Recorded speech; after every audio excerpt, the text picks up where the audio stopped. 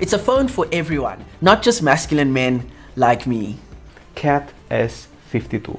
The first cat phone with a fingerprint scanner at the back side.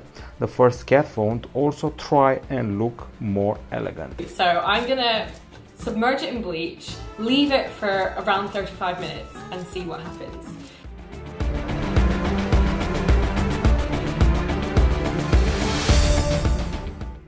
Okay, so it's been half an hour since I put it in the bleach. I'm nervous to take this out, but let's see how this goes.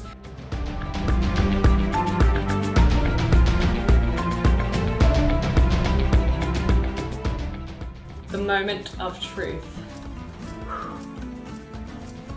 Oh my god, it turns on fine.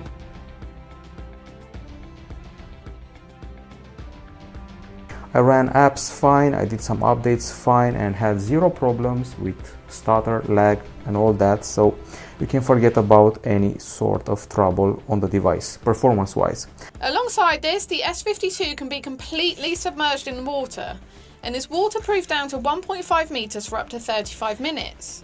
It's designed to be an everyday phone that is rugged it looks fine. Like it's it is a bit rugged, but you don't need a cover, you don't need a screen, and it's not ugly. Like I was worried that it would just look really bulky and manly. It it looks fine.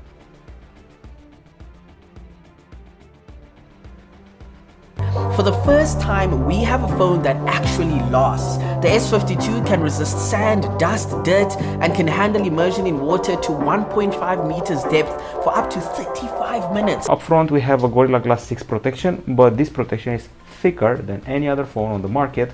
Also 9.7 millimeters in thickness, by rugged phone standards, it's slim. Cat claims that this is the best camera on a rugged phone. I wouldn't disagree. The fact that you could wash this in bleach once a day rather than just giving it a quick wipe like most of us do is impressive.